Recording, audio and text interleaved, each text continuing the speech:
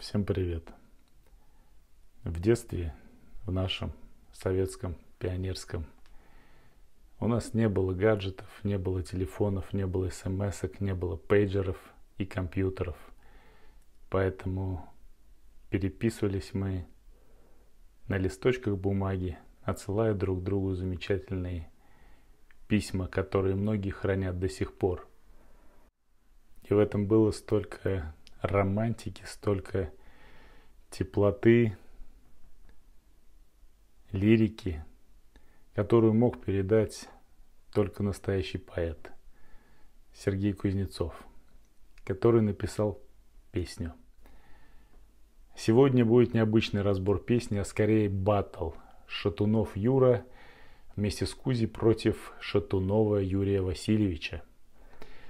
Вы видели когда-нибудь, как Кузнецов работает в студии. Есть много видео, в том числе, когда они в студии в Шатуновом работают. Там Кузя прописывает каждый тон, отстраивает каждую ноту, каждую строчку отстаивает в своей песне. И на выходе получается шедевр. Песня, исполненная Юрой, которую хочется переслушивать много раз. А все потому, что она отзывается в каждом сердце и близка каждому, кто рос в те годы воспитывался, переписывался. Много лет спустя Юра эту же песню переделывает на свой лад и исполняет. Сразу чувствуется отсутствие гениального Кузи рядом. Песня неузнаваемая и звучит, на мой взгляд, совершенно по-другому. Понятно, что Шатунов уже молодился, хотел новую публику привлечь молодую, но песня, на мой взгляд, сразу потеряла соль, душу, лирику, драму, мелодию.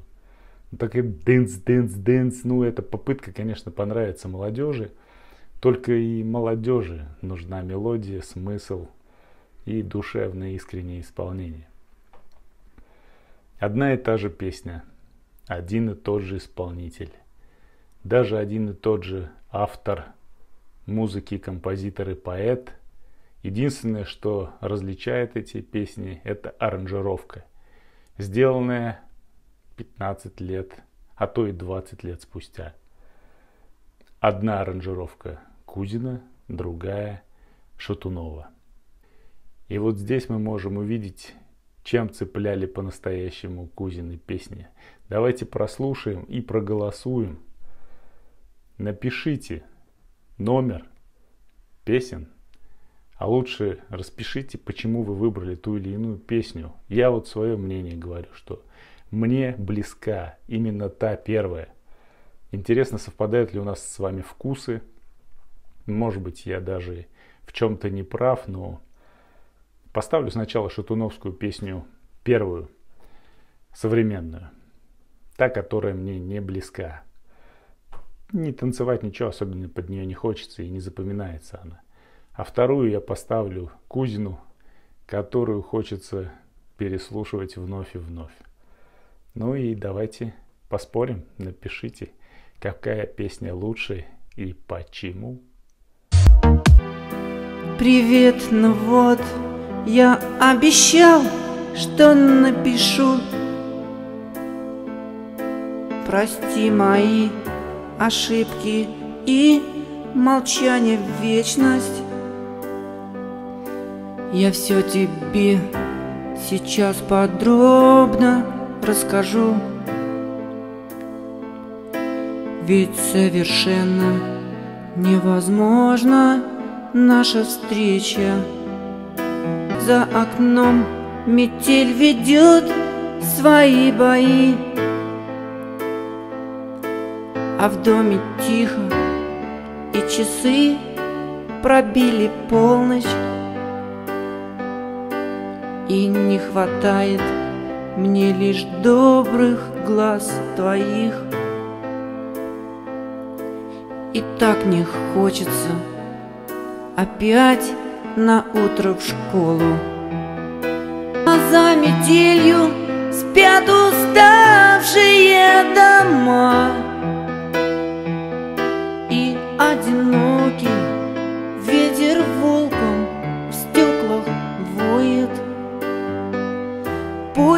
прячет твой Последний след в снегу зима. Я все отдам, чтоб только быть Всегда с тобою.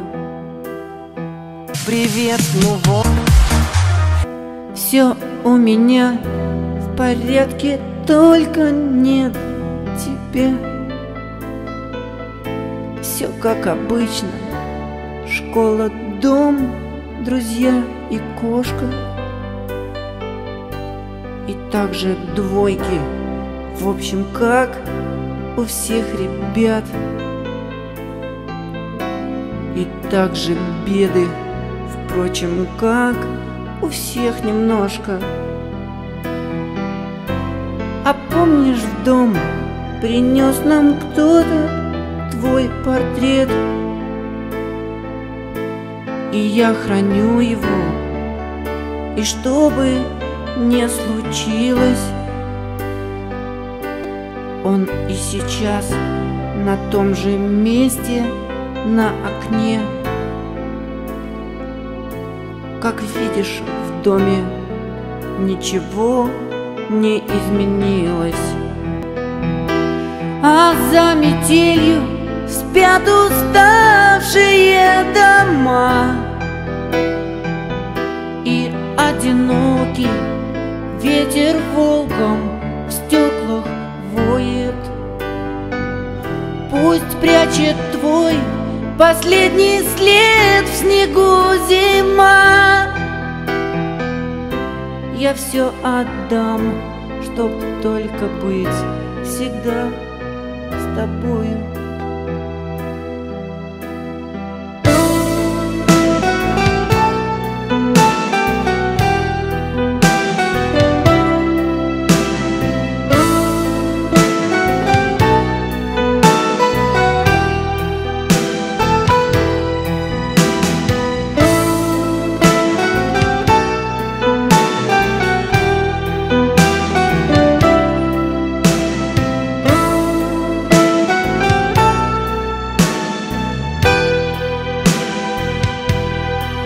Привет, ну вот, я и пишу, как обещал. Прости мое молчание и ошибок кучу. Еще прости, что адрес твой так не узнал. Пусть в никуда писать, но это все же лучше. Я допишу свое письмо, как в прошлый раз. Сожгу листок, и пламя ночь мою осветит. Сгорит в огне боль никому ненужных фраз. А пепел примет за окном холодный ветер. А за метелью спят уставшие дома. И одинокий ветер волком в стеклах воет. Пусть прячет твой последний след в снегу